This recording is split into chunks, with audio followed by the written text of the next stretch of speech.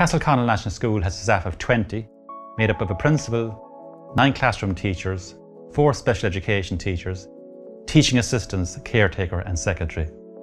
We have a diverse student population of about 240 pupils and we aim to be an inclusive school for all our pupils. So our project was called Special Education Looking at the Whole Child.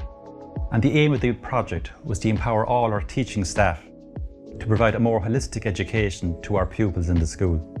Our project was centred around the education of the whole child special in special education.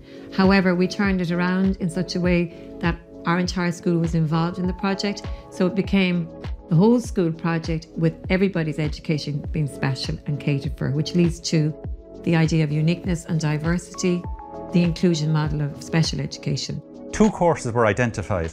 One course was entitled Education and Counselling for Students with Autism, and the second course was called Art as Therapy.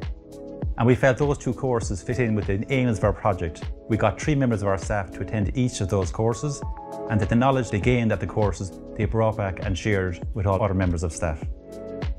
We experienced the inclusion model in Italy on our training program there for autism and we saw it firsthand and how it was how effective it was and also the, the challenges that they met along the way. In advance of the project, a lot of the communication was through email and with our partner in Barcelona we used the eTwinning portal to communicate. And they helped us to organise an events for the week and a programme of the week so that our teachers would make the most of their time when they were in the school. Really, we see it as a school that's able to prepare our children and our staff and our broader community to become true global citizens in, in preparation for life.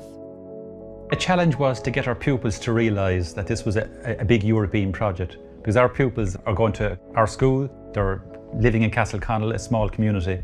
But I was trying to get the children to see that we're also part of a bigger European family.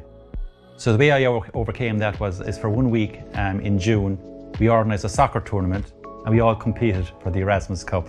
We created a great fun and enjoyment for the week. And we also learned about the countries in our project. The highlight really, I suppose, on reflection of it was the, the our event day, our showcase day. Following from that, then we had an accumulative like Erasmus celebration week whereby we put on an art exhibition where every child from junior infants to sixth class was involved. There was a great sense of colour, vibrancy, connection. The event was opened by Sean Kelly MEP. Local business people came, parents, there was an invita- open invitation to the, the broader community of Castleconnell. It was an absolute great excitement on the day. It was a celebration and we could disseminate our project.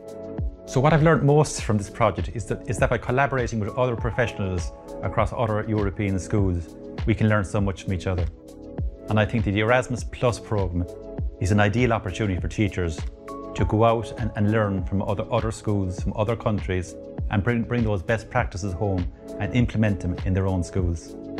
And I'm very honoured to win this award on behalf of our school. I'm just one of, of the, the staff in the school, and this has been a whole school staff. We've all been involved together so I'm very happy to, to take this award on behalf of our school.